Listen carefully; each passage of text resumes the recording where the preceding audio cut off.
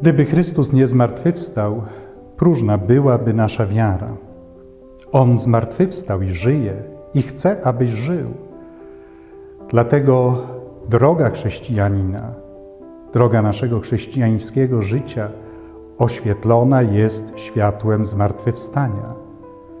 Ożywia naszą wiarę, nadzieję i miłość.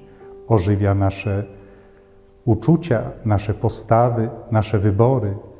Zmartwychwstanie oświetla drogę tych, którzy pragną naśladować Chrystusa.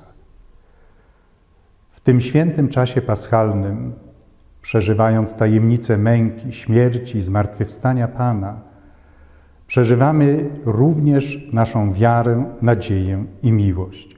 Zostaliśmy przecież w sakramencie Chrztu Świętego złączeni z Chrystusem, abyśmy i my powstali z martwych dzięki chwale Ojca. Otrzymaliśmy łaskę uświęcającą, dar usprawiedliwienia, odpuszczenia grzechu pierworodnego i naszych grzechów, ale jednocześnie te trzy wiarę, nadzieję i miłość. Święta paschalne są okazją do tego, by dziękować Bogu za ten dar, który otrzymaliśmy od Niego, a jednocześnie by ożywić w sobie te postawy, które płyną z wiary, z nadziei i miłości.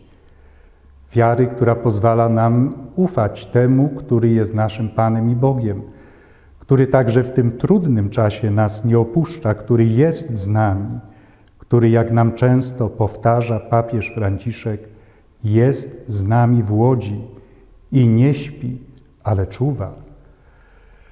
Ufna nadzieja to ta, która wciąż otwiera nas na nowe motywy życia.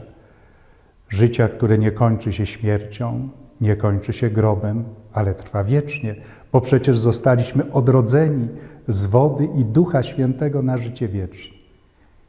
Miłość, która nam pozwala w tym czasie w szczególny sposób otwierać nasze serca dla naszych najbliższych, w rodzinach, w domach, ale również dla tych, którzy cierpią, którzy przeżywają różne trudne chwile, którzy opłakują swoich zmarłych, by nie tylko myśleć o nich, ale być także blisko, by towarzyszyć im naszą modlitwą, naszą bliskością, naszym współczuciem.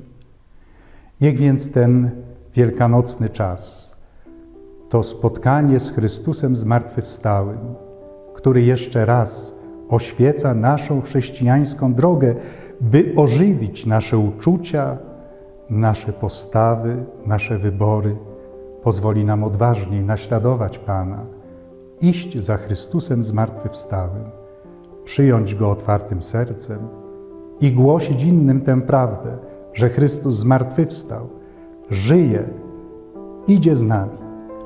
Błogosławionych świąt paschalnych.